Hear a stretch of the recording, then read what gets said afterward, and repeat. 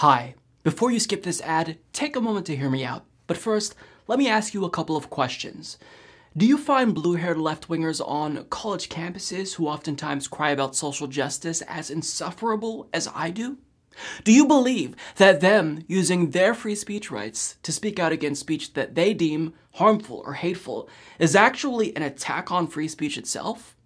And do you believe that trickle down economics isn't complete and utter horseshit? No?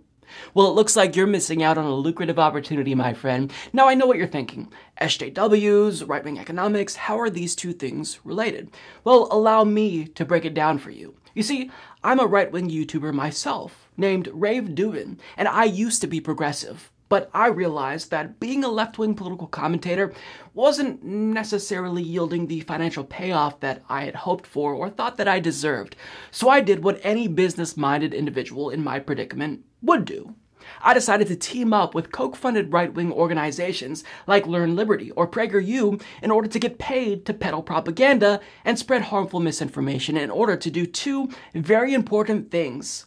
One, boost my public profile, and two, make fuckloads of sweet, sweet cash. Now, since PragerU is about educating people, we do have a U in our name after all, I'm going to teach you how to do what I do so you too can turn a profit. And really, there's a plethora of ways that you can go about doing this. Me personally, see, I have a show where I bring on white supremacists and even proto fascists, and I do all of this under the guise of exploring the marketplace of ideas. And when I'm inevitably then called out by the left for doing this and irresponsibly platforming people who are pretty much Nazis, that's when the real money starts rolling in because then what I do is play the victim and construct a narrative that it's actually the left's goal to censor me. I build my case against the big bad SJW boogeyman and denounce their criticism as just more outrage from the left. And this is what a lot of right wingers like myself do on YouTube because as I simultaneously build the case as to why I'm really the one who's the victim here,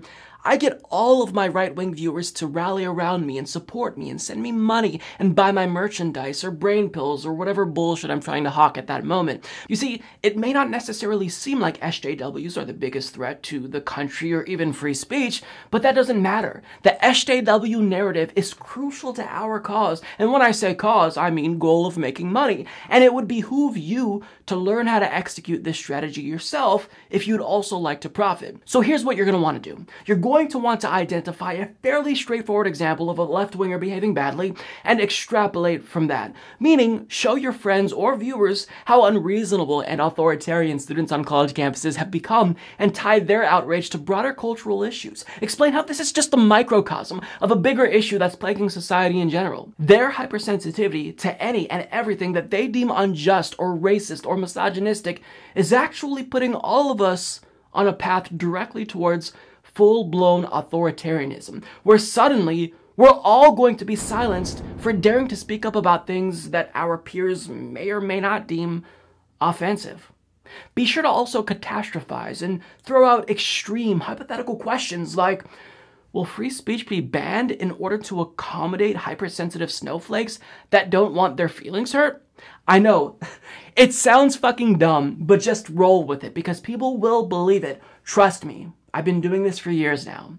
Now, as you're building the case against left wing authoritarians, make sure you avoid talking about the relative social authoritarians that we have on our side. Because yes, it's true, we do technically have snowflakes on the right as well, who do exist and frequently get triggered by desecration of the American flag, kneeling during the national anthem, being openly blasphemous towards our Lord and Savior, Jesus Christ, or criticizing Daddy Trump. Now, you don't have to bring these things up to appear fair or neutral, because remember, we're trying to convince them that the left, and only the left is the problem. Not necessarily because it's true, but because it's just our initial sales pitch.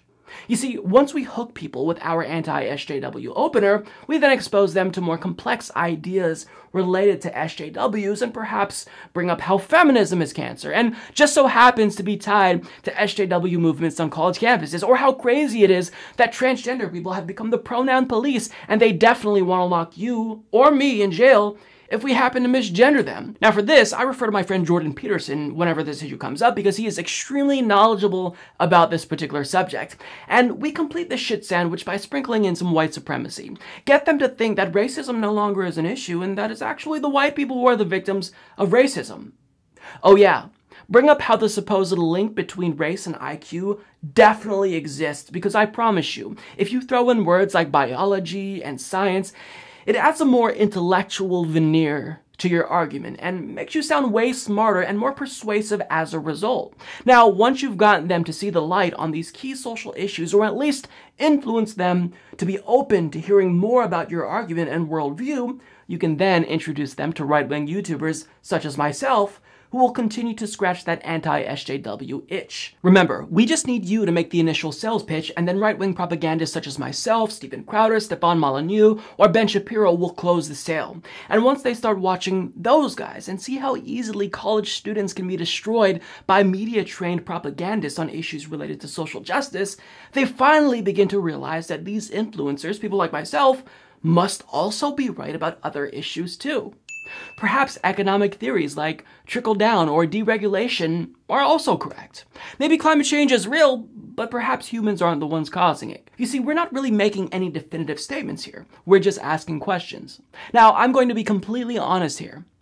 At PragerU, we don't actually give a flying fuck about SJWs on college campuses. We just use them as bait in hopes that unsuspecting dipshits bite it, and once they do, we reel them in and get them to support a political party and economic system that's wholly against their own self-interest. Now, I should mention that we do have to stay firmly committed to this idea that we hate any and all identity politics, but if you're gay, if you're black, or a woman, We'd actually really like to hire you especially, because you guys get to say all the fucked up shit about your community that others can't. For example, I get a nice bonus every time I bring up my husband, and then subsequently give one of my right-wing colleagues permission to call me a faggot.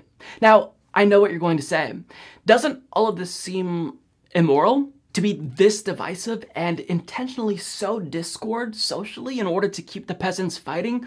While people like me rob them blindly and legitimize an exploitative and unjust system?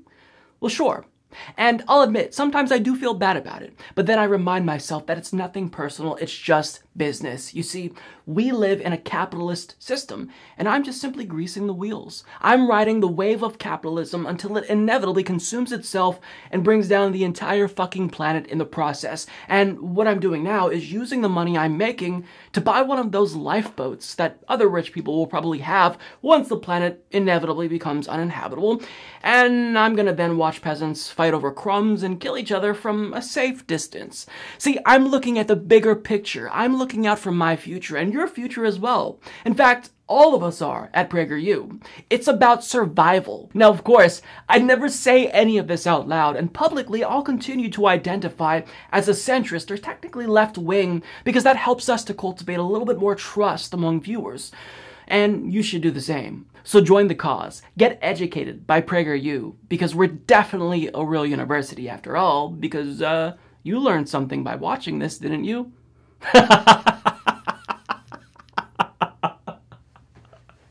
Dumb motherfuckers.